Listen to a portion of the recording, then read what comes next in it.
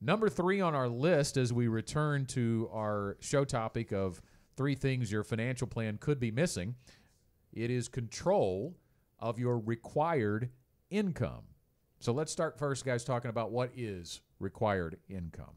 So that's what your basic need in retirement. So, what is it you need just to um, pay for your groceries and your gas and utilities, taxes, insurance, things that you know that you know that you know are coming every single month um, that you've got to pay for? Um, and you don't necessarily want to subject that income to market risk. And, and things like food, clothing, you know, transportation, you name it, those essential expenses, Scott, are the things that you've got to think about first as you're planning for retirement.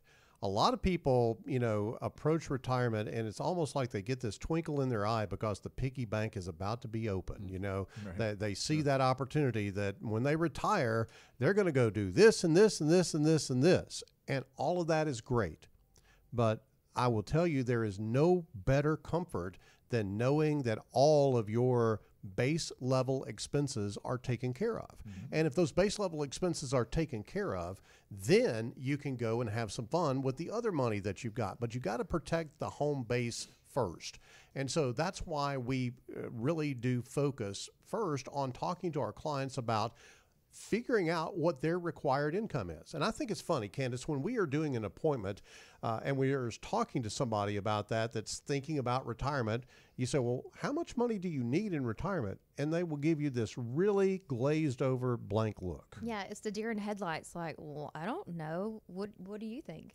Yeah, I don't know. I uh, yeah. tell us what you spend on a regular right. basis. Yeah. And so, Scott, that that really is one of the biggest difficulties that people have when they come in is trying to go, okay, well, what do I spend? Yeah.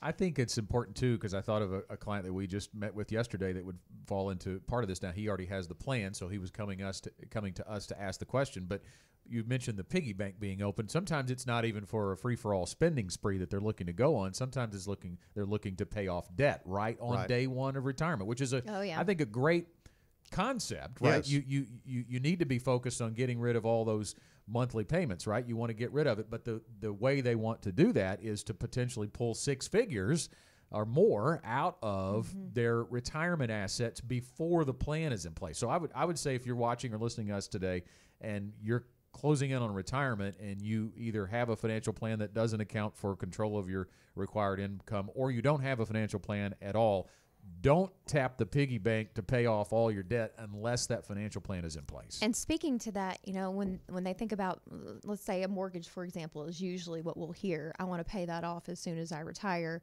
Um, but what they're not thinking about is that uh, a lot of times they'll have a 401k and all of that is pre tax money. So they don't just have to take out what they owe. You've got to account for the taxes on that too. So you're taking a whole lot more out of your portfolio that could be income generation for you.